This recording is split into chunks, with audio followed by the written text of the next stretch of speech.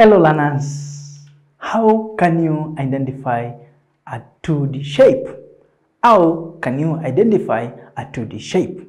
For more on this, join me teacher Jonathan in Easy Elimu Learning Simplified to more on that. And in our lesson for today, mathematics for grade 4, we will be looking at properties of a rectangle, properties of a rectangle. And from our previous lesson, the properties of a square, we identified them. And just to remind ourselves, we said a square has all sides equal, all angles equal, and right angle, and four lines of symmetry. And with me, it's a rectangle paper cutout. With me is a rectangle paper cutout. You can see all of it, all of you. It's a rectangle paper cutout. And today I brought a bigger one, a bigger one that we had used in a prior lesson. And we want to identify also features of this square. And to start with, we want to start by labeling all sides. Label all sides of your square. Label all sides of your square as A, B, C, D. All sides of your rectangle, sorry. Label all sides of your rectangle A, B, C, D. A, B, C, and D. Now, let us measure the length of line AB.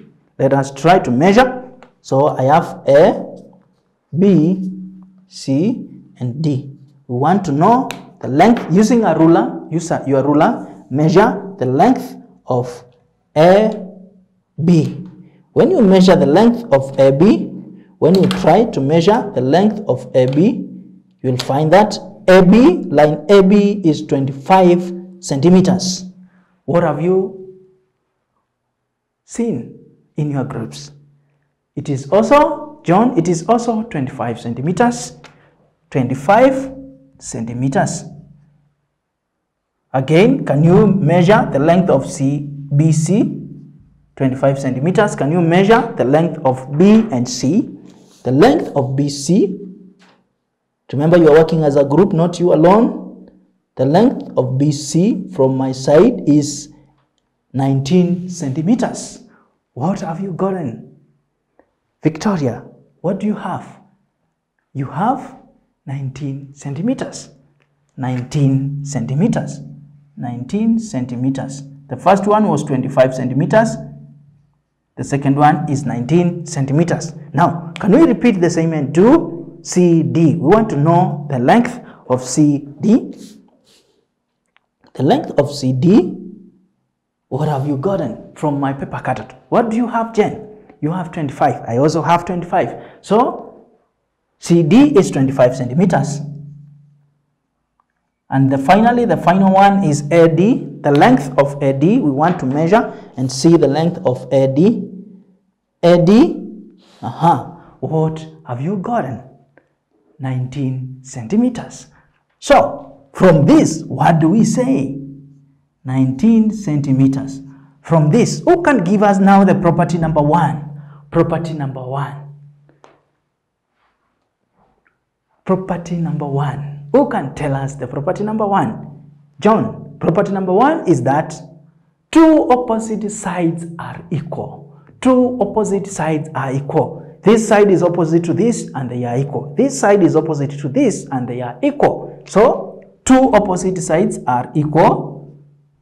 That is property number one. Two opposite sides are equal. Are equal. From our finding, two opposite sides are equal. Can we look at the angles? Angles, and I want us to measure the, the, the, whether all angles are right angle. Or we can measure using the prayer paper cutout that we had. That angle it fits. We are tracing to see whether they are the same. It fits a right angle. So this angle b is a right angle. Angle a we also want to trace angle a.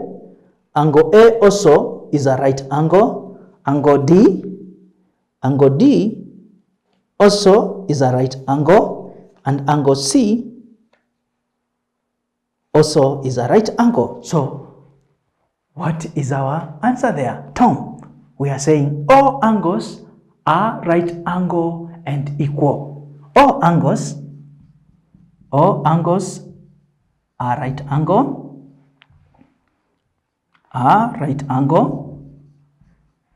Number three, all angles are equal. All angles are equal.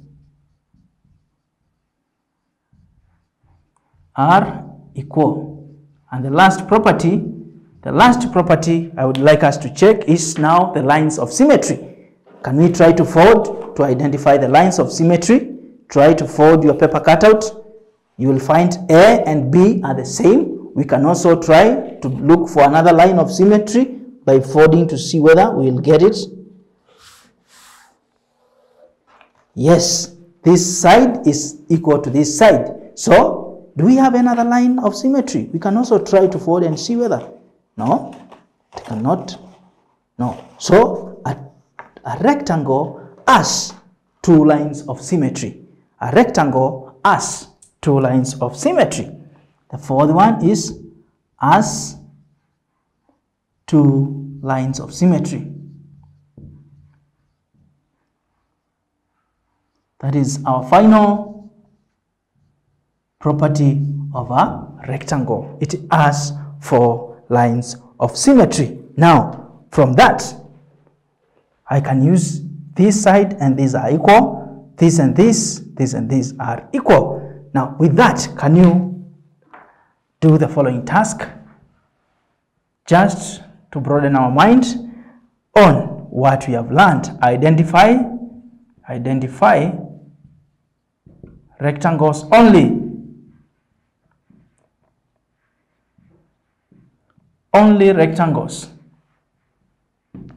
What are you identifying from? Number one. Number one, we have the first one as this. Is this a rectangle? Number two, we have this Number three, we have this. This is a rectangle. Number four, we have this. We want to identify the rectangles only.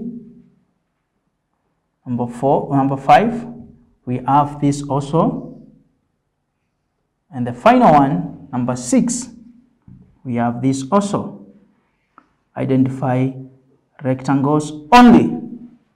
Learners, this marks the end of our lesson on properties of a rectangle. Kindly, when you go home, you can do more practice on this.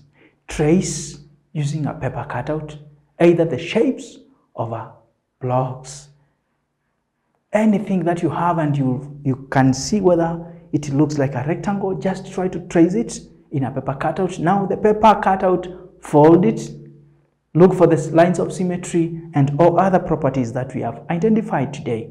And by so doing, you'll be confirming whether that object you had traced is a rectangle or not. Thank you for joining me in our today's lesson. See you in the next lesson.